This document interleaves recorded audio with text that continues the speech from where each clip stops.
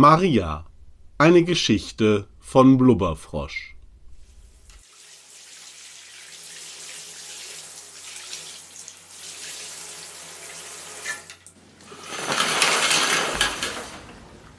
Kalt, kalt, kalt. Ich steige aus der Dusche und trete auf die kalten Badezimmerfliesen. Warum kriege ich es eigentlich nie auf die Reihe, ein Handtuch auf den Boden zu legen, bevor ich in die Dusche steige? Eigentlich hatte man mir bei Einzug gesagt, die Wohnung hätte eine Fußbodenheizung. Aber bisher hat das verflixte Ding nicht funktioniert. Die Reparatur sei schwierig, hatte der Hausmeister gesagt. Dabei ist das Haus ziemlich neu.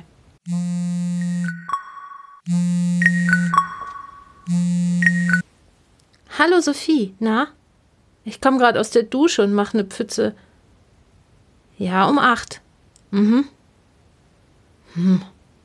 Sushi schon wieder? Echt, hast du dich da wirklich angemeldet? Aber. Und alle können drauf zugreifen. Ja, natürlich nur die, die auch. Ah, wie spannend. Dann bis nachher. Ich trockne mich rasch ab und sehe auf die Uhr. Noch ist Zeit genug. Ein Glück. Ich öffne den Kleiderschrank. Mist. Die neue Hose ist in der Wäsche. Und die anderen sind alle schwarz. Schwarz ist so überholt. Naja, hilft ja nichts. Die ganz enge muss es tun. Au, verflixt, das Ding ist echt eng. Warum muss ich mich da reinquälen? Damit kann man gerade so einigermaßen sitzen und es wird mich den ganzen Abend kneifen. Immerhin sind Barhocker in der Sushi-Bar und keine richtigen Stühle. Inzwischen gibt es in fast allen Restaurants diese hohen Hocker und Bistrotische, angeblich weil Stehen gesünder ist als Sitzen. Ich glaube, die stellen die Hocker auf, weil die Schickis sonst nicht kommen. Sehnsüchtig blicke ich auf meine blaue Lieblingshose. Aber wenn ich die anziehe, nimmt mich Sophie nie wieder irgendwo mit hin. Manchmal glaube ich, das wäre besser. So, noch den schicken neuen BH und die Bluse mit dem tiefen Ausschnitt. Eigentlich finde ich das ja zu offenherzig, aber Sophie will Jungs gucken gehen und da muss ich halt irgendwie mithalten. Sie glaubt ernsthaft, heute Abend die große Liebe zu treffen. Das klappt nie und nimmer. Sie weiß ja nicht mal, was sie möchte. Gut aussehen soll er, was auch immer das heißt. Muskeln haben, aber bloß nicht jeden Abend ins Fitnessstudio gehen. Bekochen soll er sie und betüdeln, aber sie in Ruhe lassen, wenn sie das braucht. Und am besten alles, ohne dass sie das noch extra sagen muss. Die große Liebe hat es im Gefühl, schwadronierte sie erst letzte Woche. Und nun diese Matching-up. Naja, das verspricht immerhin spannend zu werden. Vor dem Spiegel ziehe ich konzentriert einen feinen Strich an die Stelle, wo die Brauen sein sollten. Eigentlich steht es mir nicht. Aber das ist halt gerade schick. Der neue Lippenstift hat eine großartige Farbe, den mag ich wirklich. So. Schnell noch die Tasche geschnappt, Handy von der Blitzladestation und ab geht's.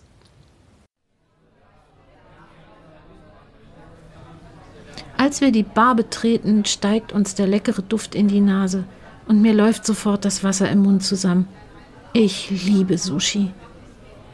Wir finden einen Platz etwas am Rand, was mir ganz recht ist. Da ist es nicht so eng und man hat einen prima Überblick. Die Sushi fahren auf einem Laufband, das in Schlangenlinien durch den ganzen Laden fährt. Am Anfang fand ich das Konzept nicht so toll, aber inzwischen scheint es mir ganz praktisch. Unter jedem Teller ist ein kleiner Chip. Jeden Teller, den ich vom Band nehme, halte ich kurz an mein Handy.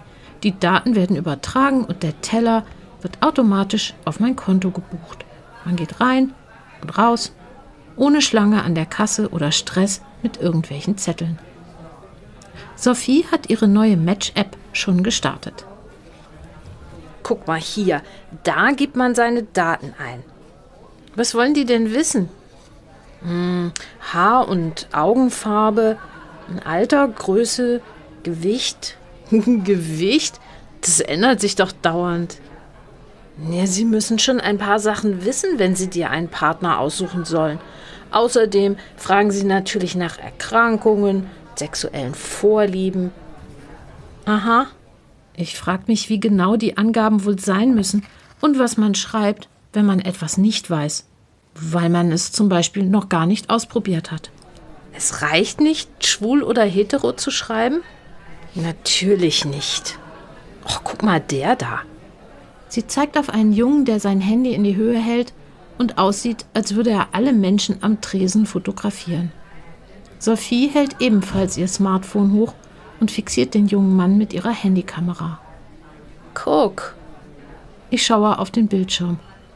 Ole steht über dem Gesicht im Display, davor das Symbol für männlich, außerdem 24, Student, Hom. Oh, schade, ist schwul.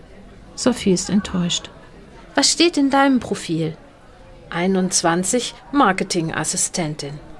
Du bist doch schon 25 und noch nicht mal fertig mit der Ausbildung.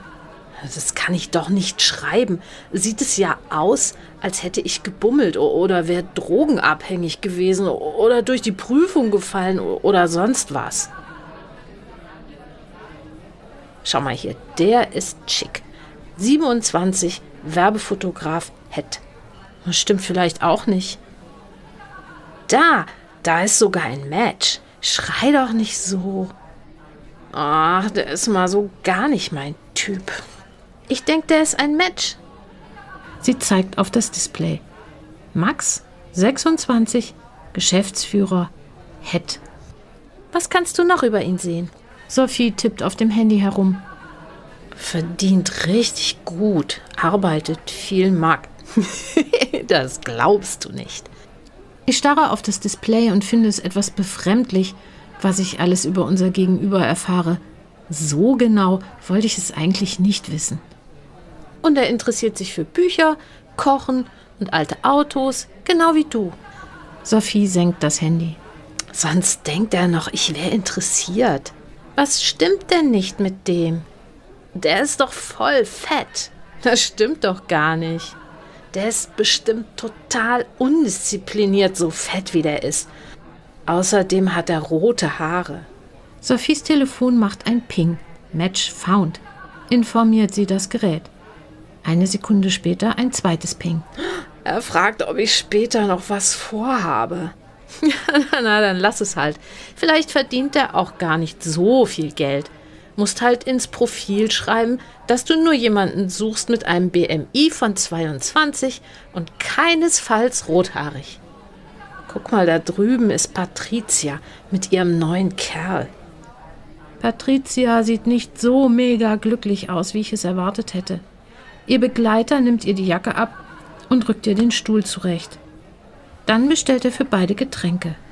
Ah, ein Kavalier alter Schule. Ich finde es irgendwie besitzergreifend, wie er ihr die Hand auf den Rücken legt.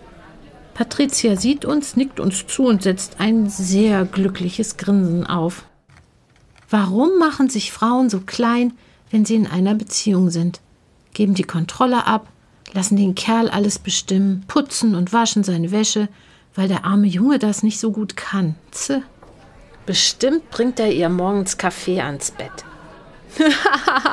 jetzt hattest du so viel Mühe, deinen Kaffeeautomaten zu programmieren und jetzt soll ihn jemand anders bedienen? Oh, guck mal, der da drüben, der dunkelhaarige. Ich schau mal, ob der auch drin ist. Sophie hebt das Handy und starrt auf das Display. Der dunkelhaarige hebt den Kopf und zwinkert mir zu. Ich zucke die Schultern. Ach Mist, der ist nicht drin. Wir können uns trotzdem mit ihm unterhalten. Ich lächle den Mann an und er grinst zurück. Sophie tippt auf dem Handy-Display herum. Ich zupfe verstohlen an meiner Hose, die im Schritt kneift. Mistding. Komm, wir gehen. Sie steht auf und schnappt sich ihre Jacke. Gehorsam steige ich vom Stuhl. Eiserne Regel. Wir gehen immer zusammen. Wir nehmen unsere Handys vom Tresen. Als ich an dem dunkelhaarigen Mann vorbeigehe, drückt er mir einen gefalteten Zettel in die Hand. Ich stecke das Papier in die Tasche und folge Sophie nach draußen. Besser, ich sage ihr nichts davon, sonst kriegt sie nur schlechte Laune.